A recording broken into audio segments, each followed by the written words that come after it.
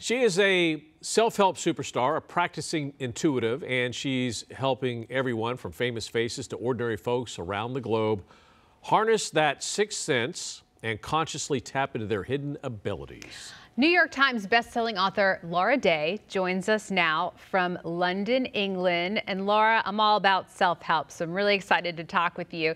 Let's talk a little bit about intuition and how people can use their own profound power.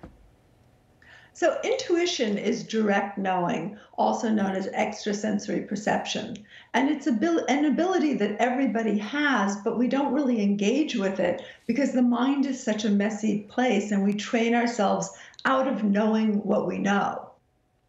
All right, in your book, uh, Welcome to Your Crisis, you, you help people turn turmoil into life transformation. So, why are so many people right now in crisis? Well we're really held together by our habits and our patterns. And our both our habits and our patterns have all been challenged. So we're flooded and overwhelmed. We're unable to deal with the amount of change in our environment. So part of what we have to do is not be reactive. And unfortunately when we're overwhelmed we get reactive. We react in one of four ways anxiety, anger, denial, or depression. And once you master that and you know what your type is, then you're able to really use the fact that things have changed to have an openness to create something new, maybe something you wanted to create for a long time. Okay, so let's quickly break down each of those four types of crisis responses that you just mentioned. Let's start with anger. So anger explodes when they're overwhelmed. Now, denial ignores, depression sinks, anxiety freezes. And what happens is that the things that are going wrong, exactly, well, that is clearly an anger type. The things that are going wrong pile up and they make us unable to to respond effectively. We're seeing a video of a guy throwing yeah. a computer. All right, what about uh, let's see, what was the second one? It was uh, depression, I believe.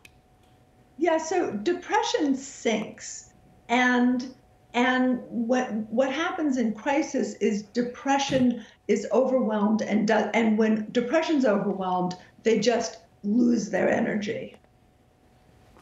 All right, and quickly about uh, talk about denial and anxiety. So denial ignores problems. You know, you you get fired and you go shopping and they they problems tend to pile up. They detach from their feelings when they're under pressure but then they also detach from their ability to address what's going on. Anxiety freezes or asks for reassurance or hyper focuses on something. You can tell i'm anxiety. I know so much about it. Um, so anxiety isn't really able to act effectively when a crisis occurs. And once again, crisis is not the it's not those daily problems. It's when we're flooded with so much change that we get reactive instead of proactive.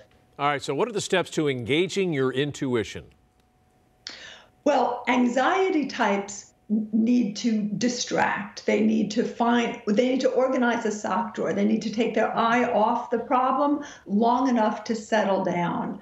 Um, the gift of anxiety is awareness. So, anxiety types can find really novel solutions.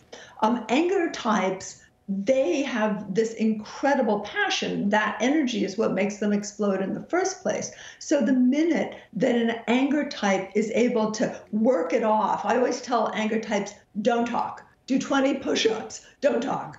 So the minute that they can work out all that anger, all that energy, what they're able to do is take a little bit of information and make it happen. Denial types are able, are able to filter a lot of the interference that most of us aren't. So most of us kind of function at half capacity because of the interference. A denial type, once they allow themselves to feel, are incredibly effective. So they can take one tiny thing they can do and build a new world with it. And depression types have depth. They, they do sink, and that's a, a difficulty. But once they start doing just one tiny thing to mobilize, they are the people who have the most direct knowing of exactly the action to take. So we're all a superstar. You know, I, I always say your pathology is your potential. You flip it over and you get the good parts. All right. Interesting, uh, intuitive information, to say the mm-hmm. least. Laura Yeah. Day, all the way from London. Thanks for joining us. Cheerio. Thank you so much. And to learn more about the types of crisis response and Laura Day, you can visit her website, lauraday.com, or follow her on social media. And Lib, I don't want to speak for you, but I think both of us, to up our intuition, Interested in is meditation. Yes, yes, Because yes. it's weird, like after I've been doing it for five years, I mm-hmm. almost have like psychic abilities, Glenn. It's just you're more more That's a scary thought.